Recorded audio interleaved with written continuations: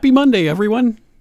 Not funny? Okay, alright. Well, I suppose a lot of you might be trudging off to work right about now, but.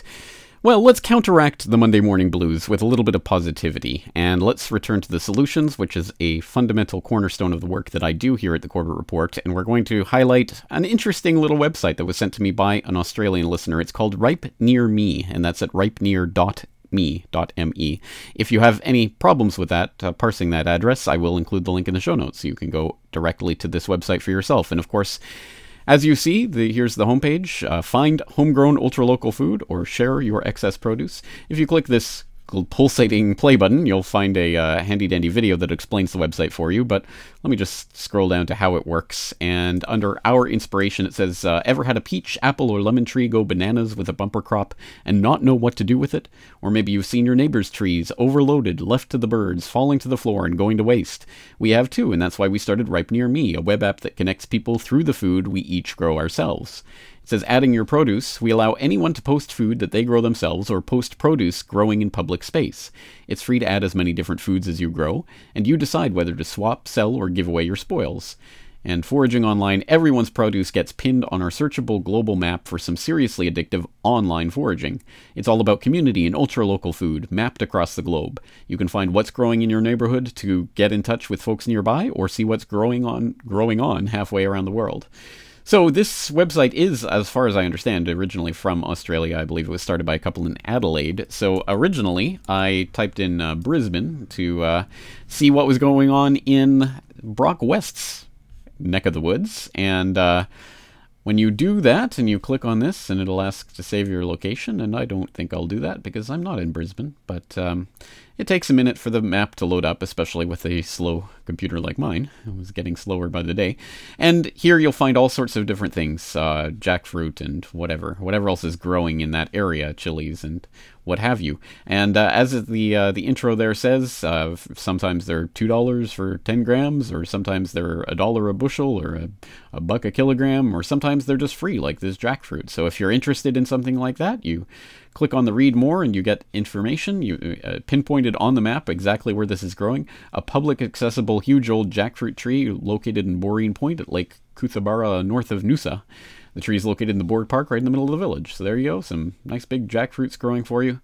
And uh, you can subscribe, as, uh, as it was saying, if you have an account, you subscribe and it will uh, update you when the, uh, the fruit is ready, when it's ripe ready to be picked. And uh, so again, there's uh, there's local growers, there's uh, publicly accessible free foods like that available here. It's a really interesting site. And as I say, I originally thought this was only for Australia, but I was pleasantly surprised when I started uh, playing around on here a little bit. And again, you'll excuse the slow load time of this computer, but uh, for example, when I type in my old hometown of Calgary, Calgary, Alberta, Canada, uh, you'll find lots of stuff growing in that area as well. More than that, surely. okay, you won't find much, but you'll find a little bit. uh, some lovage and rhubarb and other things uh, growing in Calgary. All right, well, there you go. Anyway, it really is global. Um, so please do try this yourself type in where you live, see what's growing near you, whether it's free or if you have to pay for it, or whether it's a local farmer or what have you, and see if you can source some local ingredients that you otherwise probably wouldn't even know about. And that, of course, is the beauty and the power of this potentially powerful technology to connect people directly to each other without the need for the middleman, without the need for the industrial food chain, without the need for the supermarkets and all of the uh, industrial corporate processed crap that comes with it, we can start directly connecting with people in ways that were never thinkable or possible before. So, people connecting online, finding ways to collaborate and share and and uh, purchase from each other directly, and cutting out middlemen and do. Oh, this sounds too good to be true. Uh uh oh. I think we've summoned him. It's the Eye of Sauron.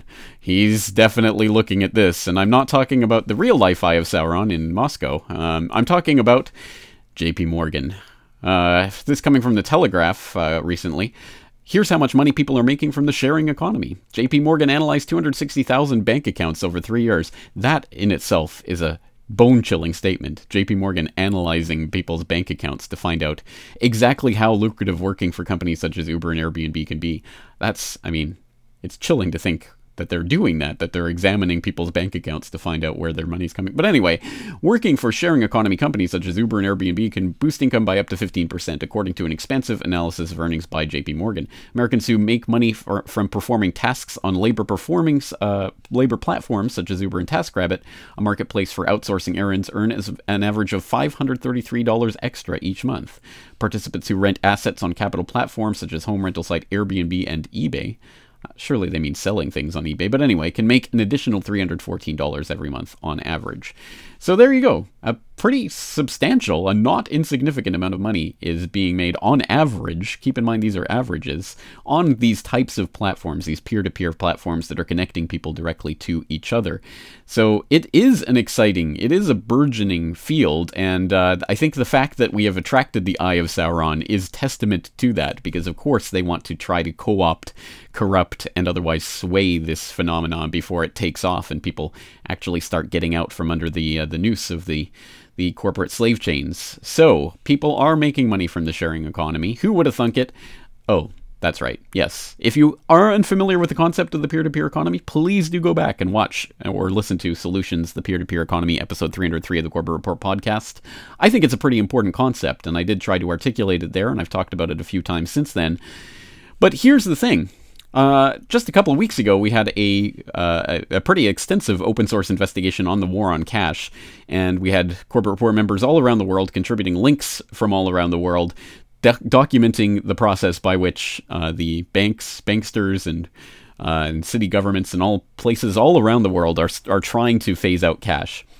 And we've got dozens and dozens and dozens and dozens of links from a couple of different countries, a couple dozen different countries here. A pretty impressive list, I think, assembled uh, by the Corbett Report members. So thank you very much for contributing to that open source investigation. But that open source investigation is a bit of a downer. Let's do a positive, solutions oriented open source investigation on sites like ripe near me. I, everyone's heard of Uber, everyone's heard of Airbnb. Nothing really new to parse there. And of course, the more they get embedded in the system by making making nice with the local governments in order to pretty please can we be granted uh, our own monopoly and, force out the competition the less useful they're going to be as genuine peer-to-peer platforms so I'm interested in sites like this, Ripe Near Me. I had no idea it existed until the other day, and there's lots of valuable information here that really is uh, connecting people, and I've already found a few things in Japan, including in my neck of the woods in western Japan, that I'm going to check out and hopefully report on later. I hope others will do the same, but I want to know more about other sites, not just Ripe Near Me. There must be more peer to peer platforms like this that connect people, not just through food, maybe through tasks, maybe through sharing uh, community resources. However, it works, whatever it is in your area, do you know of any of those? That's what I'd love to call on the Corbett Report members to assemble in a new open source investigation. So please, please, if you are a Corbett Report member with some information on a peer to peer, valuable peer to peer platform, please leave it in the comment section of this video on corbettreport.com.